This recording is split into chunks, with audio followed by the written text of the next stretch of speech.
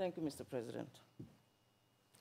Mr. President, Your Honors, by February 2003, after months of intense ethnic fighting between the Lendu and the Hema, the armed group known as the Union des Patriotes Congolais, or the UPC, controlled much of the territory of Ituri in the Democratic Republic of the Congo.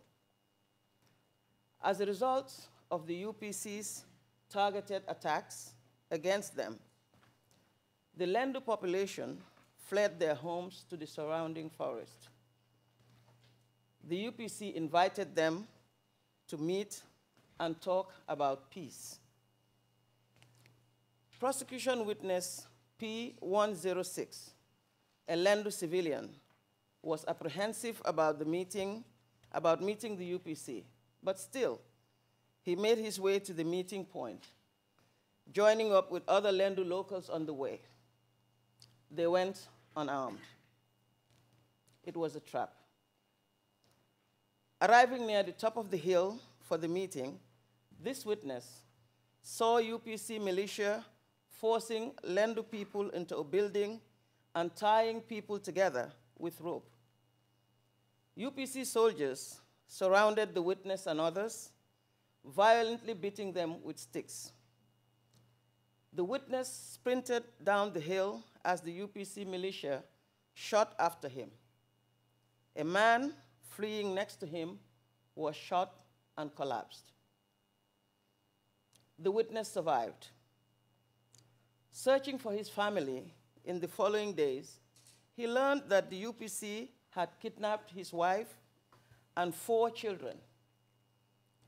When he heard that bodies of Lendu men, women, and children lay in a banana field in the village of Kobu, he made his way there on foot directly. In Kobu, he saw a banana field where the trees had been cut. Amongst these trees were many bodies. Like him, other people had come to look for their family members. He searched through the dead bodies for a long time before discovering his dead son, a toddler, disemboweled and his throat slit. He knew his wife had to be close. He soon found her. She had the same wounds. He then found his infant daughter, just seven months old. Her head was punctured and her throat was slit. Finally, he saw the bodies of his two remaining children. They had suffered the same fate. He collected the lifeless bodies of his family. He brought them home and buried them in a field by his house. Another witness, P805, a farmer, also saw the bodies in the banana field. He had never seen a mass killing before. The first thing that caught his attention was how the victims had been killed. Their heads had been beaten with a piece of wood and their throats slit. He counted the bodies of 49 Lendu men, women, and children. They had cut the bellies of four or five of the women. They had slaughtered the children. There was blood everywhere. This trial, Mr. President, is about Bosco Ntaganda's responsibility for the murder of P106 family and those in the banana field in Kobu, and for the other 17 brutal crimes for which he is charged. Bosco Ntaganda was the highest commander in charge of operations and organization. He planned and led operations. He coordinated logistics, weapons, and training for the UPC troops who carried out the crimes. He gave orders to attack and kill. Bosco Ntaganda did not punish anybody for these crimes. Instead, he praised the commander on the ground at the time of the killings, Salumu Mulenda, calling him a real man. This trial is about Bosco Ntaganda's responsibility for the murder and attempted murder, persecution, forcible transfer, rape, sexual slavery, destruction of property, pillage, attacks against civilians and against protected objects committed against Lendu, Ngiti, and other non-Hema civilians in and around Mongwalu in December and November 2002, and in and around Kobu in February 2003, and for the recruitment, use, rape, and sexual slavery of children who were under 15 years of age. This case is about the violence that decimated Ituri, leaving hundreds of civilians dead, thousands living in the forest with nothing, and a population devastated by sexual violence. My office received reports that Bosco Ntaganda continued to terrorize Eastern Congo for a decade more through the UPC and other armed forces.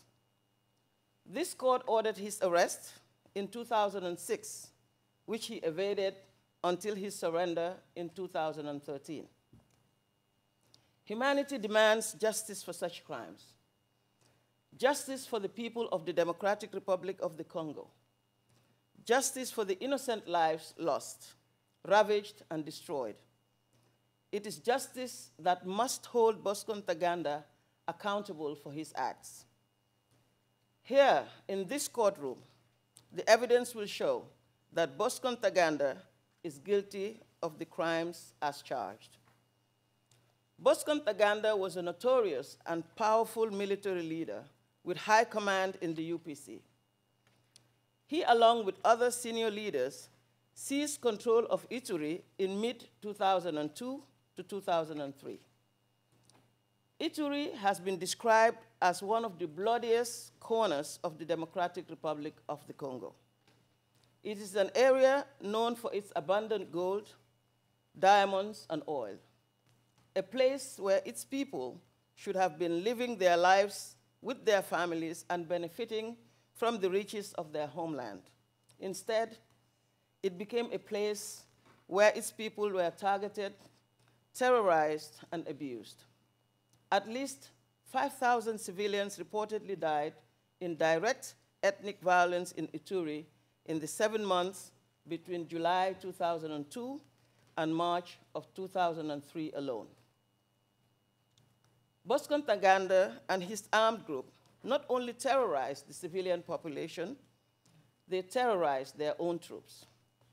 They recruited and used hundreds of children under the age of 15 to wage their bloody war. They forced these children to kill and treated them cruelly. They also raped and sexually enslaved the girls. Rape and sexual enslavement of its own soldiers was so prevalent in the UPC that these girls were referred to as guduria. This is a Swahili word for a large communal cooking pot. Reduced to objects which soldiers and commanders could pass around and use for sex whenever they pleased. He and other UPC leaders, including Thomas Lubanga and Floribert Kisembo, united in a plan to control Ituri, and they systematically expanded their power in the region. By controlling Ituri, they would not only have significant military and political reach, they would also gain enormous economic power. Power meant to, the benefit, to benefit the Hema community. Money meant to benefit Bosco Ntaganda personally. The Lendu, Ngiti, and non-Iturian civilian population who occupied desirable land stood in the way of this plan. Bosco Ntaganda and those who joined him sought to drive out the population to gain control of the territory, and he ensured that they could not and did not return. Your Honors, the evidence will prove, beyond reasonable doubt, that the crimes for which Bosco Ntaganda is charged occurred within the context of a non-international armed conflict that ravaged Ituri for more than one year. The evidence will also show that the crimes occurred during a widespread or systematic attack against a civilian population covering a large territory and harming a large number of civilians. The crimes were not random, isolated, or spontaneous. They were part of a carefully planned, coordinated, and executed campaign of violence, deliberately targeting the Lendu and Ngiti civilian populations and other non-Hema ethnic groups. Bosco Ntaganda personally committed crimes. He also made an essential contribution to a common plan to assume military and political control of Ituri and drive out their enemies.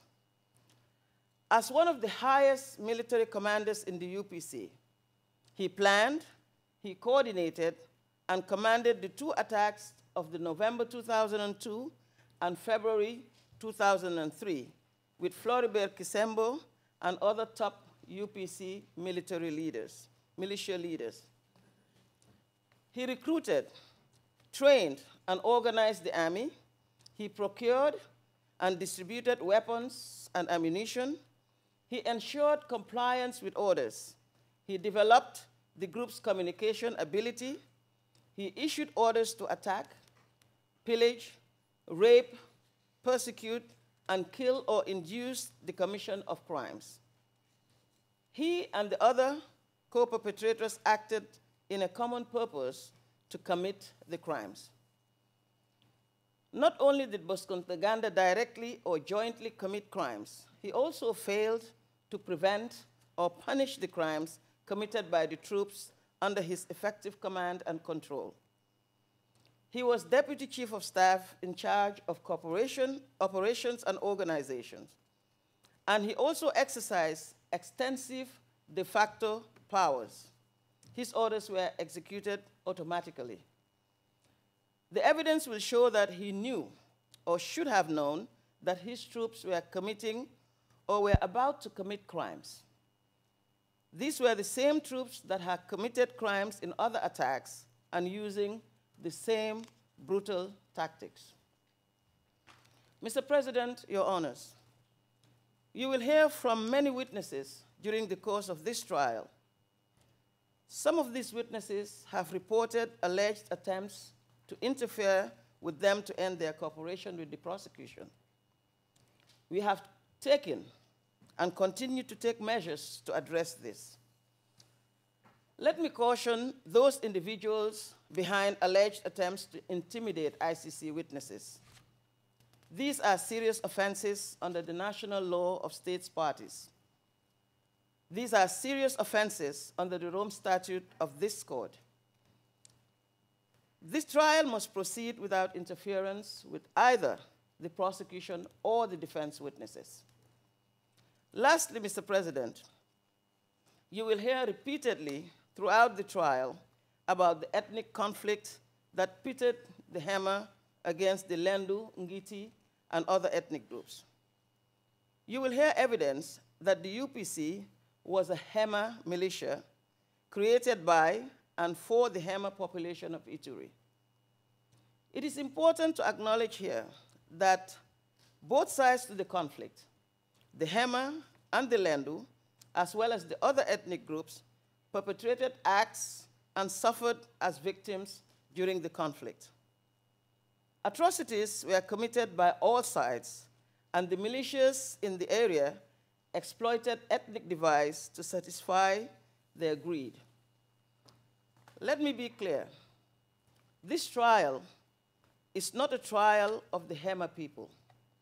It is not about vindicating or indicting an ethnic group. Indeed, my office has equally prosecuted crimes committed against the Hema victims. Je tiens à préciser encore une fois que le procès qui est sur le point de s'ouvrir n'est pas le procès de l'une ou l'autre communauté. Il ne s'agit pas du procès d'une appartenance ethnique ou d'un groupe ethnique. Il s'agit du procès d'un individu, Bosco Ntaganda, qui a profité des tensions ethniques en Ituri à des fins personnelles pour accéder au pouvoir et à la richesse, et qui, pour ce faire, a commis des atrocités. This trial is about his individual criminal responsibility for murder and attempted murder, pillaging, attacks against civilians, attacks against protected objects, destruction of property, rape and sexual slavery, persecution, forcible transfer of a civilian population, and significantly, the enlistment and conscription and the use of children under the age of 15 and their rape and sexual slavery. This case, Mr. President, is about the thousands of victims of his crimes who must finally have justice. They deserve no less. The evidence will prove that Bosco Ntaganda is guilty of the crimes as charged. Mr. President, Your Honors, my learned colleague, Nicole Samson, the senior trial lawyer of the case, will now present the context in which the crimes were committed in a more detailed outline of the evidence supporting the charges. I thank you, Mr. President, Your Honors.